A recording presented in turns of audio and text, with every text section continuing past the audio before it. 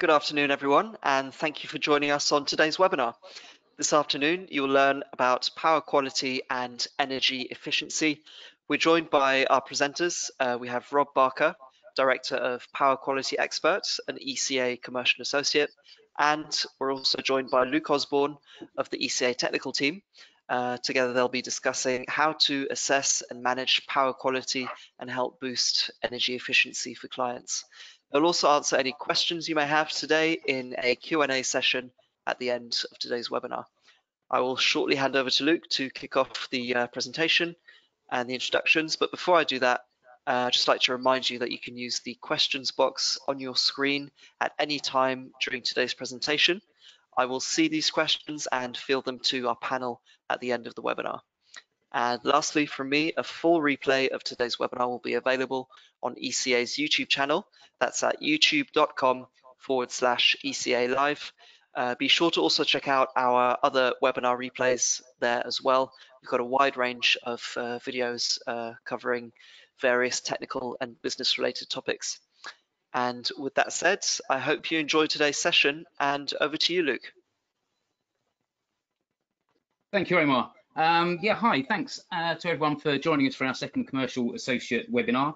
Um, as you've just been told, Rob Barker is going to be talking us through some of the um, deciphering the black art of uh, power quality and harmonics. Uh, this is a subject that's often misunderstood or even uh, something that people are completely oblivious to. Uh, but Rob will be outlining power quality in a fully understandable manner, uh, covering what people should be concerned with um, or why people should be concerned with power quality, uh, the benefits in addressing this, uh, the, the benefits both for cost and also for reducing power use, uh, which is obviously very important in aiding our path to net zero carbon 2050. Um, I think you'll realise that there's many opportunities for the installer um, in understanding um, and delivering power quality analysis uh, and that can also add another string to your bow. So without further ado, over to you, Rob. Okay, thanks, Luke. Um, so yeah, my name is uh, Rob Barker. I'm the Director of Power Quality Experts, and we're going to be going through a bit about power quality and energy efficiency today. So if we can go on to the first slide, please. So we intend to go through a bit of an introduction about who we are, uh, who Sonel is, that's who we deal with in terms of instrumentation, what power quality is. Um, we're going to have a look at the power quality measurements uh, in relating to the standard 5160, what harmonics are, um, look at some energy efficiency measurements, um, follow that up with the uh, power quality health check or typical survey measurements that we that can be made, and we'll briefly touch on instrumentation. So if we can go to the, uh, the first slide, please. So a little bit about Power Quality Expert. Um, the company was established in uh, 2016 um, the original concept of the company was to be, just to do energy load profiling um, surveys, harmonic studies, power quality investigations. Uh, we then got involved with um, training. People were interested in learning about the uh, about power quality. So we would do training. Uh, we do training courses. We hold um, free power quality seminars with local training colleges, and we also provide product training on behalf of Sonel in the UK. That led on to us developing a service called Power Quality Health Check. Um, that was developed towards the end of 2017 and we launched it in 2018. Um, this allows you as the contractor to either hire a power quality analyzer or logger, do the survey yourself, send us the data through an online portal. We'll analyze the information and produce a standardized report for you. Following on from that, we're now developing Power Quality Clinic, so the concept behind that is a little bit more involved. You can consult with us live uh, before you do the survey. We can talk about the measurements you're going to be needing to do, why you're going to be doing them. We can have again have a look at the results, do a power quality health check report for you as well, and then again follow that up with an after uh, consultation about solutions and possibly refer you on to people that can provide you with PFC or VO or harmonic filtering. For those you do look at instrumentation, there's the uh, relationship that we have with Sonel. So they've got their own website, sonel.pl, or you can look at ours, which is sonel.uk. And we also have a dedicated site for their power quality analyzers. Um, on there as well is a power quality knowledge base. So common questions on power quality is there for you to refer to. And there's also a free guide to power quality that you can download on there. Next slide. So to make that a little bit more clear and simple for people, we've now got a um, complete power quality suite of solutions all under one website. So powerqualitysuite.com um, has all of our sites under the one umbrella site, so to refer to, make it a lot easier for you. Next slide, this next slide, please. So a little bit about Sonel. They were established back in 1994, so they've recently celebrated their 25th anniversary. Uh, they're based over in Poland in a small town called Swidniczka, um, in some nice modern factory in one of their um, economic zones. It was established by a couple of engineers um, who are still active today with the company, especially with R&D of new products. Um, they manufacture a complete range of instrumentation from multifunction meters, thermal imagers, low resistance ductometers, meters, obviously power quality analyzers, clamps, multimeters, and we have a nice range of high voltage equipment. So UV corona camera for detecting HV discharge, high current loop impedance meters, high voltage uh, loop impedance meters, which we predominantly supply into the railway as they work up to 750 volt network, and HV insulation testers. So next slide, please. So what is power quality? So for us, power quality tends to be a sort of an all-encompassing catch-all term, which what we've done here is we've tried to break it down into its constituent parts. So we have a standard, which is 5160. We've got harmonics, and then we've got energy efficiency. And these three topics tend to always get to refer to under that one power quality term. So next slide, please.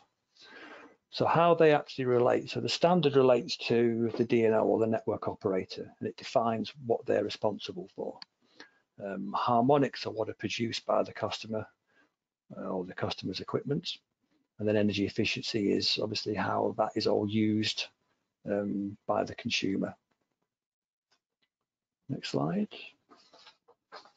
And then we can take that down another level and we can see that the DNO is responsible for voltage, the harmonics will relate to the current, and then the watts relates to those two together, volts and current. Okay, next slide. So 5160. So 5160 defines what the DNO is responsible for supplying. Um, so we can see it defines the main characteristics of the voltage um, or the low voltage and medium voltage electrical distribution system. And the standard gives limits and values within which these voltage characteristics must be maintained by them. Next slide, please. So the DNO has responsibilities or their energy supplier has the responsibilities. So they need to provide energy and electricity to the recipient. They may need to maintain the continuity of that supply and they need to keep within the operating parameters that's defined within that standard or, or what we would actually call power quality. But it's also important not to forget that the power user also has mm. responsibilities and duties as well. So they need to keep within their active and reactive power, which is defined within their contract. And they also have to limit the harmonic emissions from non-linear loads from their plant onto the electrical supply system. And we'll look at that um, in a few slides time, how that relates back to this. Next slide, please. So within 5160, we've got various parameters which they've got to they've got to adhere to. So frequency, it's got to be 50 hertz plus or minus. We've got flicker, which is a high voltage fluctuation, voltage variation. So it's going to be 230 volts plus or minus 10%. Um, harmonics in the voltage, interruptions, and this, sort of this little graph here sort of gives an illustration of what we would mean by a swell dip uh, nominal voltage, just as an indication. Okay, next slide. So just as a as a side point out of interest, the 5160 standard was inspired by the um, Computer and Business Equipment Manufacturers Association. They published a standard in which they're for how their or where their equipment should work within. So we can see there's obviously a nominal voltage, and around that we have a border in which the equipment is expected to work anything around that swells transients is what we now refer to back in the 51 in, in the standard. Next slide.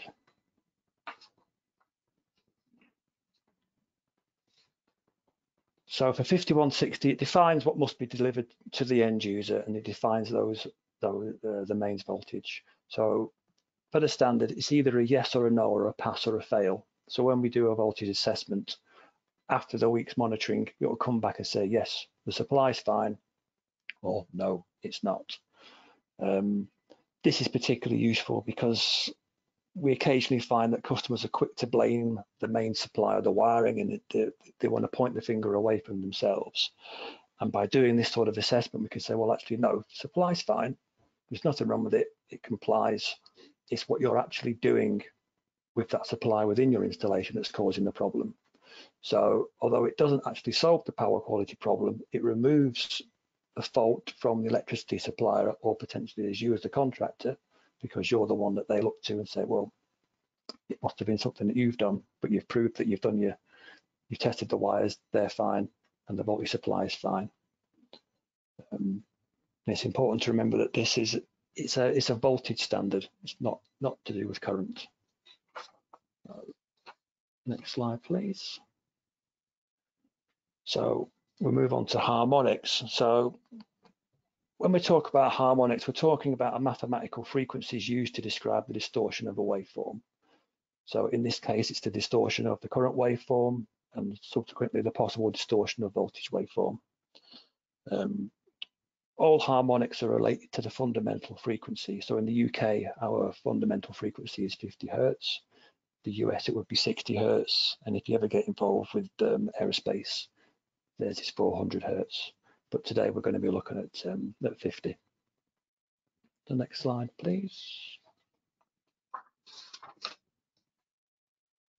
So as we can see,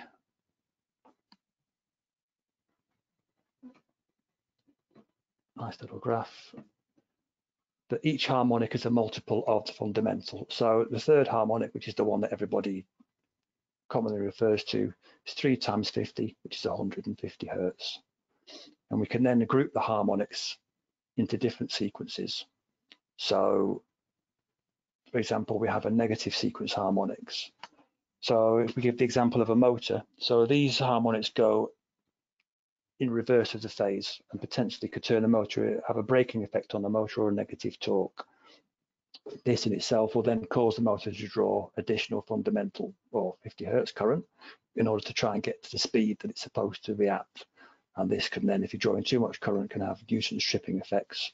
Um, and also a long term, it's going to damage the motor because it's having to work harder than it needs to. We then have zero sequence harmonics. So called this because they all have the same zero point reference on their phase. So because of that, they don't actually cancel each other out. And as a result, they all add up and then return back down the neutral. Um, that again can cause problems with uh, degradation of um, insulation or warm or heating effect in the conductor. So if we go on to the next slide.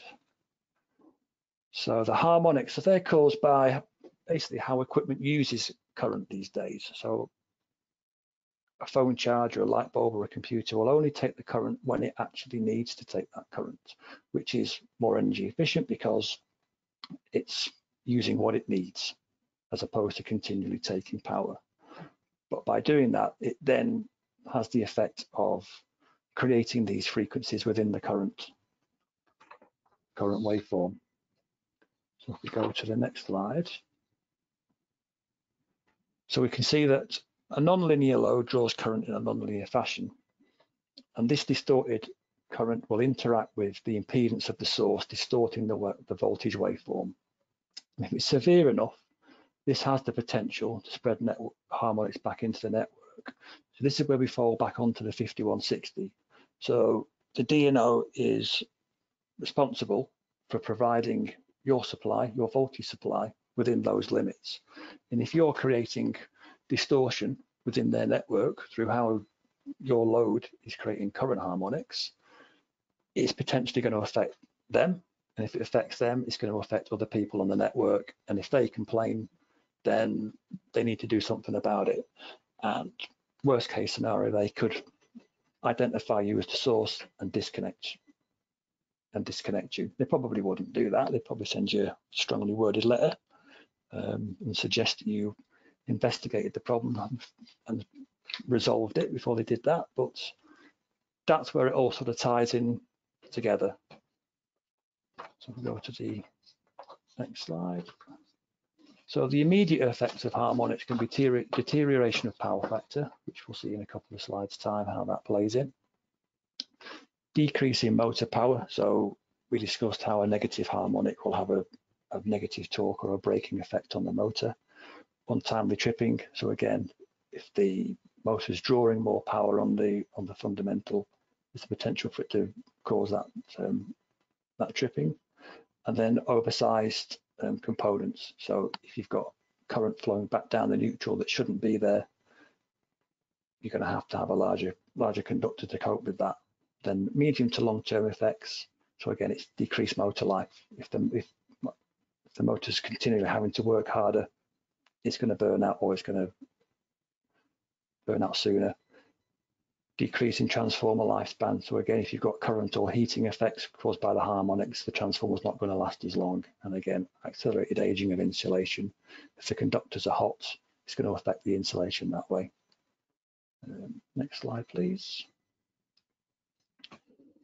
So if we look at energy efficiency, so this is a traditional diagram for energy efficiency that we sort of see on a regular basis.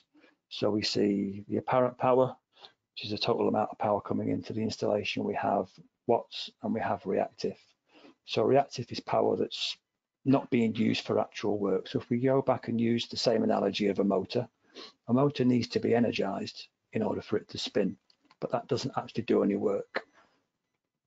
The watts is used to turn the motor, and that's what's used in order to do the work it's required to do. Um, now, if we move on to the next slide, so we can see that now that we've talked a little bit about harmonics, that reactive is actually made up of two components. So we have the traditional reactive power, which is related to phase. So that will be to do with the phase shift between the voltage and the current from inductive capacitive loads. And then we have distortion power, which is related to the harmonic current. So in this aspect, it's important to see that if we know that the react or our reactive component is more harmonic based, then we need to be considering harmonic filtering. It's more phase related or phase phase related, then we'll be looking at your traditional power factor correction. So we go on to the next slide.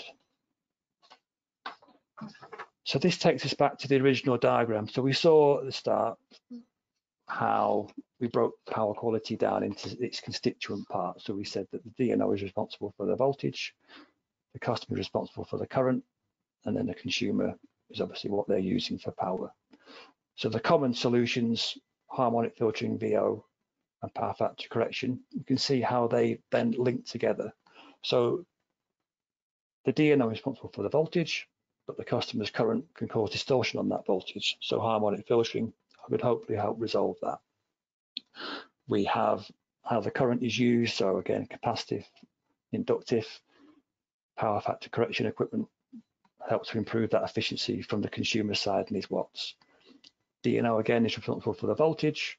So because um, you have a standard voltage of 230 plus or minus 10%, uh, we were part of a European Union and we had a shared market. So products were built to work around a, a common voltage value. And because in the UK, we're looking at around an average of about 242 volts, there's the potential there that if we turn the voltage down, that we can make energy savings.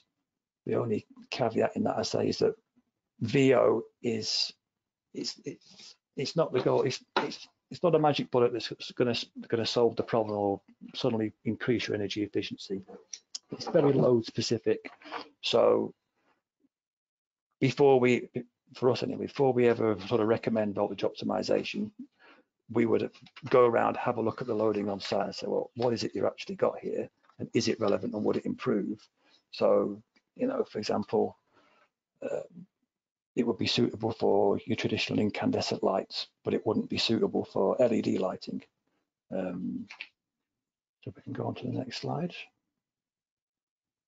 then energy efficiency now plays a part in the um, in the wiring regulations. So it was introduced in the 18th edition as Appendix 17. It was originally going to get its own part, Part 8, but that's now um, been allocated to the prosumer section, which uh, is now under for public consultation. Um, the appendix contains recommendations for electrical installations and we, where possible, suggest that you know you look at it for new electrical installations and for modification of, of, of existing installations about what you can do to improve the energy or ways that you could introduce that to the client. Uh, next slide, please. So within those within those suggestions or design requirements, we have things like load profiling, power factor correction, um, provision for energy measurement of energy consumption, data logging. So for us, when we're sort of going to site doing surveys, it's always easy to get uh, measurement of the current because you can just put your CTs around the conductor. That's fairly straightforward. The issue that we have is voltage connection, um, which you're going to need. If you're going to be doing energy efficiency, you do need the voltage connection to reference against the current. Otherwise, you're just doing a, a load profile of what's actually being being used opposed to how it's being used. So what we've sort of trying to introduce now to to our clients when we go on site is that we a provision for a voltage connection. And the easiest way that we've we've found it is to try and get access to a three-phase socket. Now, if there isn't one, if there's a way for them to install a temporary one or or a place where they can put at least a test point for us to at least get a reference. Um, mark it as a test point, not as a supply. And then we have a little adapter which we can plug in, which we can then safely connect 4 mil um, leads to and do the logging that way. Go to the next slide. So this then comes on to what we would call power quality health check. So mentioned at the start, we developed this back in back end of 2017, launched it in 2018, and we sort of based it around sort of the standard parameters which we would do for a survey and what we get asked to do. So voltage, current, power, um, THD, voltage and current harmonics, and then a, an indication of the voltage and current profiles, as well as some comments and recommendations, all put into a standardized report. So if we go to the next slide.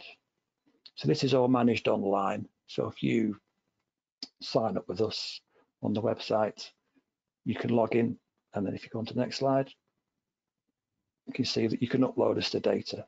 So if you've already got a logger or you've hired one, download that with their software and send us that basic data file. You don't have to do anything else. You tell us where you were, who did it, you tell us the time, start and end time. We can get that data from the file, but occasionally we find that internal clocks on loggers are not 100% accurate, so it's always nice to double check that we've got the right uh, week for the results. Tell us about the main system, three phase, four wire, three phase, three wire, frequency 50 hertz, um, your nominal voltage, and then upload that to us. Next slide, please. So once the reports are done, that's stored on your profile and you can view it online. You can download as a PDF or you can send a shareable URL link to your customer and they can download that remotely as well if you want to. Or if you're using a hire company, they can manage that all for you as well. So they can hire you the equipment, send it out, you hook it up, do, do the survey, send it back, they'll send it to us and we'll do the report, which we'll either email you as a PDF or you'll get the link. Next slide. So as you can see, standard report. Um, so it doesn't matter if you're using a Sonel or a Fluke or whatever it is that you've hired. The reports will always look the same. So you've got your voltage, your current, your power, and then we use traffic light system. Now we do this as we find it's easier to engage with the client because everybody knows what green, yellow, and red is, um, and the clients are more likely to react or at least ask you the question, why is that red? And at that point, you can say, well, it's red because your power factor is a little bit poor. That's why we recommend power factor correction or your harmonics are yellow. You should be look, keeping an eye on those for next time, or we can come back and do a, a 12 monthly check. And we can compare the results that way. Next slide, please. So if we touch quickly on instrumentation. So this is an example of the offering from Sonel. So they've got two form factors. So the first has a nice touchscreen control and they do three models in that. So they do a multifunction tester for your normal 18th edition wiring, but also with a built-in three-phase power logger. We've just got a new one which we've just launched, which is the multifunction tester, three-phase power logger, and it also has the provision for solar PV testing. Um, so checking the efficiency of solar installations as well as the electrical test that that's that they need. Um, you see that potentially for part eight might be quite interesting. Um, and then we move on to the other design, which is in a nice ruggedized case. So they do a nice basic PQM 700 power energy logger. So that's a very easy stop start button, on off button, connect it and it will record the parameters for you. And then we have fully featured power quality analyzers. So we can see we've got class A and class S accuracies.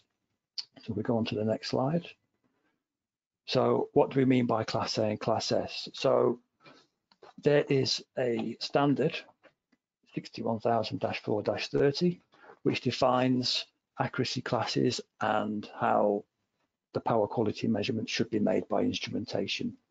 So 2015, that's now in its third edition. Um, back in its second edition, which was 2008, we did originally have three accuracy classes, Class A, Class S, and Class B. Um, class B was manufacturer specific accuracies. That has now been removed in the new standard. Um, it's mentioned as an annex. Um, the main measurement classes now are Class A and Class S. So those instruments, whether it's a Sonel or a Fluke or a QTech, independently verified. So we can see an example there of a certificate for the Sonel 700.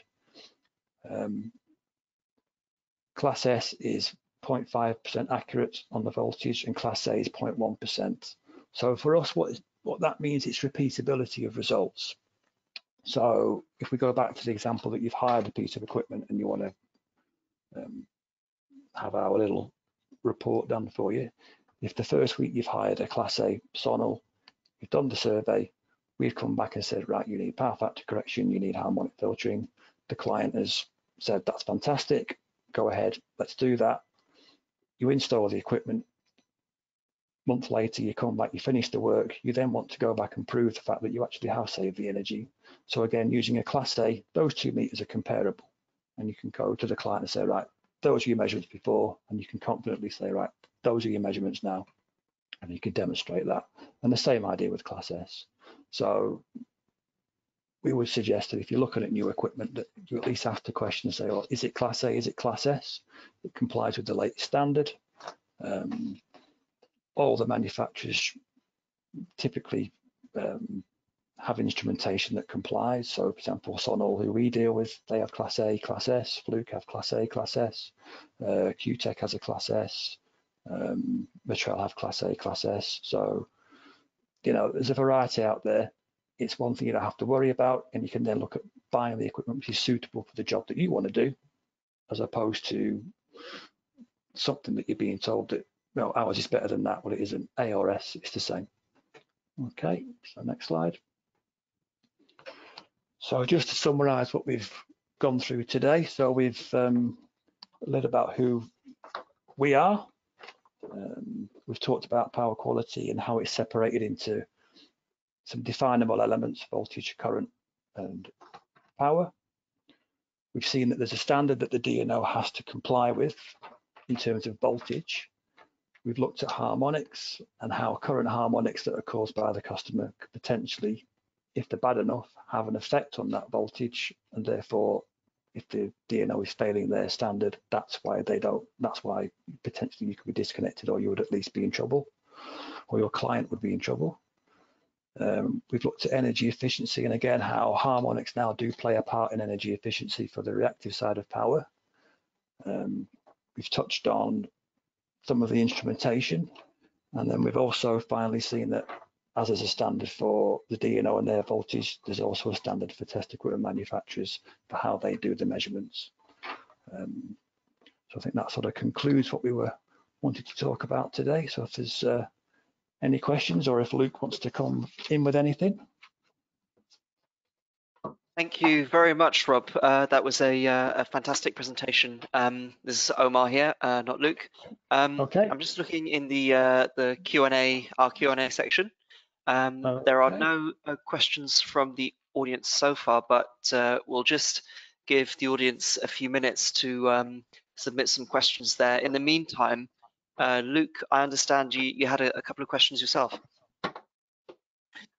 Yeah, no, I, firstly, I wanted to thank Rob for uh, an amazing brain dump of information there. I think there was so much uh, that, you, that you conveyed across to everyone. Uh, and I think a lot of these things uh, quite unfamiliar ter territory to a lot of people, uh, especially the fact that it is a two-way street with the, the DNO have a responsibility for the power and the quality of the power they deliver. Yeah. But also for the uh, for the user as well. I think that's quite an important uh, thing for people to understand. Um, Yeah. I think also the, the fact that there's so many different types of flavors of distortion that are out there as well. Um, but I was, I was going to say, once the analysis has been done, um, how would a client go about correcting the, the power quality issues? Uh, you've identified that uh, it could be caused by phase issues, so inductance, capacitance, etc., or harmonics. So I'm guessing there's uh, uh, different methods for correcting this. Yeah, so obviously, like I said, we've we broke it down into sort of into three areas. So we looked at voltage, which is the DNO's responsibility. We looked at harmonics, which is caused by the current. So the solutions at the end, which we mentioned, which were sort of harmonic filtering, power factor correction, or voltage optimization. So if you're generating a particularly high amount of harmonic current, so that's your responsibility. That's what your or your your client's doing. Um, the way to solve that would be harmonic filters. So how I like to sort of think of them is a bit like noise cancelling headphones. Might not be technically correct, but you've got a distorted waveform. So as the waveform would sort of dip, as we saw in the animation, we would inject a current and bring that back up to being a true sinusoidal waveform. So with PFC, you've got capacitors in there, so it would sort of create like a reservoir effect. So the power that's you will be stored in the capacitors and then used by the motor to energize itself. Therefore, you're removing the phase shift. Again, it might be oversimplifying what it, how it actually works. Um, and then VO, that's a little magic box that the VO manufacturers make, and that just steps the voltage down. So it's a good way for us as well. That's a good way of regulating the voltage. It's not uh, probably what it's designed to do, but depending on the manufacturer and the VO box you're using, it will maintain it at 230 volts. So even if you have deviations from the from the from the DNO, because they're allowed 230 plus or minus 10, so that could be down to 207 or up to 253. So a VO unit won't necessarily be able to maintain a drop from 207 from the low voltage, but traditionally you're going to be around 242. You can maintain it. So those are your, let's say your three main solutions. And then, like I say, when we were looking at harmonics, and we were sort of saying reactive power traditionally with a linear load, we see the old-fashioned sort of triangle, but with non-linear loads now, we're looking at that, which I sort of say four-sided triangle, for want of a better description. And we can see that obviously you've got, you know, a phase, a phase shift relation to that, or you've got the the harmonic component of that. So if you've got a large, if your active power is made of, of predominantly harmonic, which it probably wouldn't be. Let's say you had 80% of your reactive power is harmonic. There's no point putting a PFC filter in there because it isn't going to cure it. If you've got you'd fit a harmonic filter and vice versa. If you've got 80% of it's actually to do with the fact that you, all your all your site's got is motors and you're creating that's what's causing the problem and 20% harmonics. Well, really, let's sort out the phase issue first and then look at harmonics because harmonics are always going to be there. It's because it, because that's how equipment works these days, as we showed with the with the you know the the diagram for the, the telephone charger and the PC. That's how equipment works. You know, it's never going to change, and it's then about managing those harmonics. So don't put everything on one phase that's got a particularly a particular type of harmonic. Share it out the same way that you would with normal loads. You know, it's sort of being it's it's thinking it through and sort of you know, doing it that way. Does that sort of answer the question or? Yeah, no, no, that that does. It's uh, yeah, I, I think uh, yeah, people need to understand that there are these two different aspects, and uh, yeah, focus on the main one first. Uh, but obviously, both of them do need to be sorted out to re reduce yeah. not just the energy costs, but uh, also reducing the um, yeah the, the rapid degradation of equipment that uh, yeah. can be caused by this. Um, I, I, think it was important. Uh, it's re really good that you showed how the uh, the non-linear uh, DC um, supply or the demand of the devices actually works because I think most people just assume a DC is just a flat line um, and that you don't have these uh, these spikes. But as, as you mentioned, the, the, increasing amount of modern equipment is adding much more harmonic distortion uh, into these into our networks and uh, everything yeah. around us that we didn't see before. Um, that yeah. kind of leads me on to another question. Um, we, I noticed that you've uh, now introduced the, um, the, the tester with the solar PV uh, testing as well. Um, yeah. Does Sonel and yourself see this uh, sim simply as an opportunity uh, within the prosumer installation? So obviously having one device that can monitor more things, or do you hmm. think the the addition of more prosumer devices, so uh, solar inverters, battery storage systems, um, are they going to add more of a harmonic problem onto our networks? And should people be uh, uh, testing these more just to make sure their buildings are compliant? Um, yeah, I mean, with the with their multifunction tester, the, the the original model they brought out was one that was combined with a three-phase power uh, logger. So they've seen that sort of as an opportunity over there um, to bring that in because obviously, like you're saying, you know, power quality is becoming more of a thing. Um, the PV came about in terms of adding it on there, if you think about it, we've had what about 10 years of solar farms being built, solar installations being, you know, people's homes or whatever. And they, at one point, they were just put up and done. Now, the power that's generated from then, obviously solar's DC, which is then inverted back into AC onto the grid. Now, at the minute, um, from from sort of my experience, it was a case of right, just do it because we want to be you know, we want to be green, we want to be generating energy, and we want to be, you know, supplementing supplementing the grid and how uh, and how they're generating power. And it wasn't necessarily um, watched in terms of the quality of the inverters and things that was being used. You know, it was just a case of get it done. Now, most of the inverters, good quality, don't see an issue with it. But however, that was 10 years ago. So if you think about the amount of solar installations that are out there now that should be being checked, if not just for the their um, electrically, but for their efficiency. You know, so you're generating power, but is it being efficiently generated or is it just there? Um, and then obviously, if you're rectifying from DC to AC, it isn't a pure waveform, and there is the potential for harmonics being generated um, because of the because of how that works. Now, whether that would be, you see, I've always I, I've always argued that really and this was never sort of implemented as far as I ever found. But you've got 5160, which is what the, the DNO is responsible for. And I always sort of said, well, surely you should be doing something similar for solar. And that if you connected an analyzer to your solar um, generator and did a, an assessment for 5160 on that, really, that should be passing that because that's going onto the grid. Um, and I think we sort of new engineering recommendations, which you know the network operators are looking at now. You know, they're interested in harmonics because they want to know what people are connecting and what effect that's having. Because again, they're responsible for that supply. So if you're putting on solar, wind, or whatever, and you're creating a harmonic, they're responsible for that going into somebody else's property. And if they fail the if they fail the 5160, it's on them.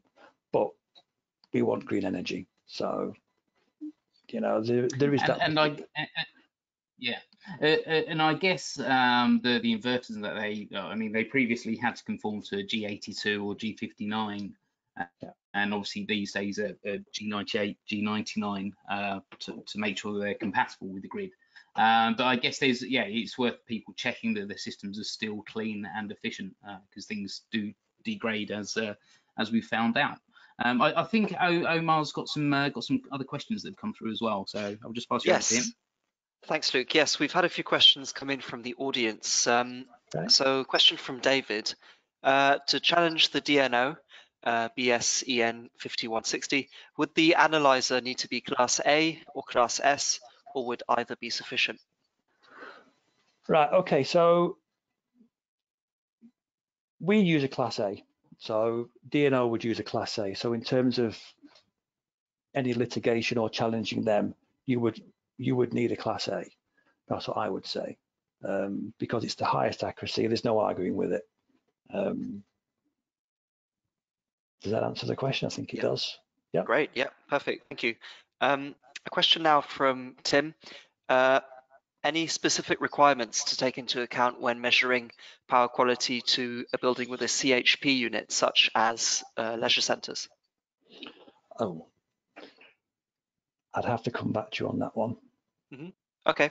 Yep. Um, we we have your uh, details, Tim. So we'll uh, reach out to you uh, after the webinar with a with a, an answer for you. Um, a question now from Alistair.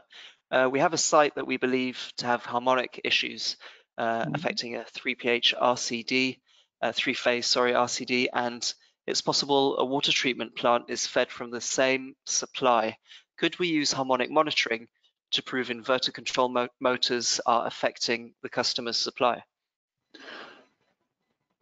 Right, so you'd be looking to prove it's them, their harmonics as opposed to um, what you're doing. So yeah, uh, um, so what we would do on that situation, I would probably go in and we would do a, a combined uh, 5160 survey as well as a harmonic survey. So we would prove that the supply that's coming or the voltage supply that's coming from your client is either okay or bad. Um, the current, like we say, is what you're producing. So we could prove that your current is okay. If it's something that's coming from them and it's severe enough, then we could potentially see something on the voltage that would indicate that um, it's them externally. So if the distortion on the, the voltage didn't relate to harmonics that you're producing, then possibly we could do it that way, I think. Great, thank you. Thanks. Um, and I believe we have one more uh, from the audience. Um, question from Andy. Do harmonics need to be taken into account when cable sizing? Yes, like we said with harmonics, um, say the zero sequence, if you're sizing the cable, say current isn't supposed to be going down the, uh, the neutral conductor, but these days because of how it is, so you would need a larger conductor. So it's something to take into consideration. However, you'd also then have to say, well, what are you connecting? So any, any equipment that you're connecting in theory is passed an EMC test, so it complies with this harmonic emissions itself. So I think it's 61,000-4-7, I think is one of them. So all white goods, brown goods or whatever will have this compliance that they won't produce a harmonic above certain certain limits. But yeah, if you've it's something to it's something to consider.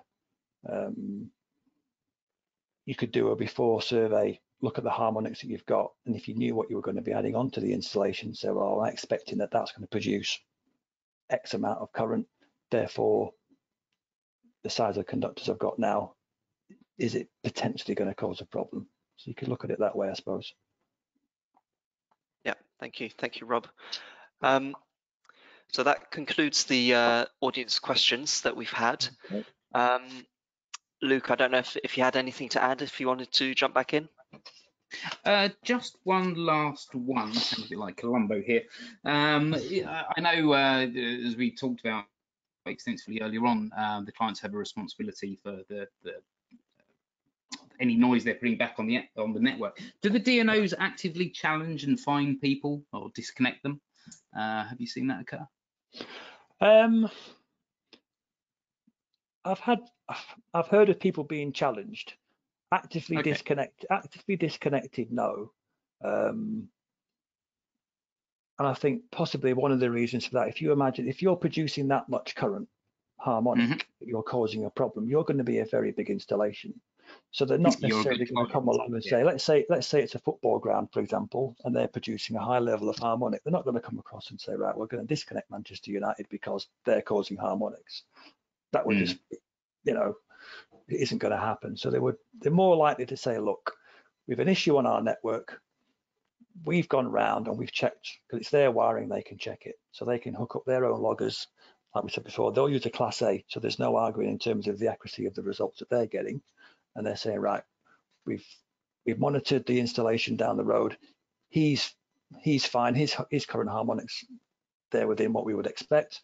Next door to you is fine, and the other side is fine. But when we monitored what you're actually consuming, you're the one that's producing these harmonics, and we suspect that you're the problem. So we would kindly request that you sort it out. Um, mm -hmm. That's that's probably the where it's that, that's probably how they would approach it. Okay. But obviously, if Yeah, you did so do then, anything then about they'll it, work, going to say, if They'll- you did they'll do work anything with about the it, then, then then they would probably cut you off, like with anything, yeah, you know. that's fair enough. But Okay. uh, now I I think that's everything from me. Um, I, I think fantastic presentation. Thank you very much. Yes, thank you, Rob. Um, just looking at the time, I think we've got time for one more. Uh, we've had one more question from the audience, uh, from Tim. Are there any extra considerations when conducting tests to split phase uh, 460 volt supplies? I mean, when we're sort of looking at harmonics and voltage, you know, you're looking you, you're looking at the conductors and you're looking at the harmonics on those conductors. So you would still look. I'm just trying to think from a practical point of view. If you're saying split, you're saying split phase, but off the same phase, is that what he means? So you're essentially sharing a phase between two different people, or not? Uh, I'm not sure if if that's what if that's what it means, but um, yeah, the, the the way the question is phrased, uh, it says uh, when conducting test to split phase 460 volt supplies. or something. I'd have to check on that, but I say normally we, would, we would we would be looking at the input to the logger is through CTs, so three channels. So you would look at the the measurements that that's making and relate that back to harmonic limits in terms of current or the the 5160 limits for the voltage harmonics, and you would assess it that way. So whether it was 460 or 415 or whatever, if you're looking at something we, we talked about, the Luke, about relative harmonics, you're you're you're relating that harmonic distortion to the fundamental. So whether that would be 240 volts or 230, it's a percentage. So I don't know if that's what the what the question's in relation to, or if that sort of answers the question. But if he wants to give us a call or whatever, we can we can certainly talk to him afterwards about that.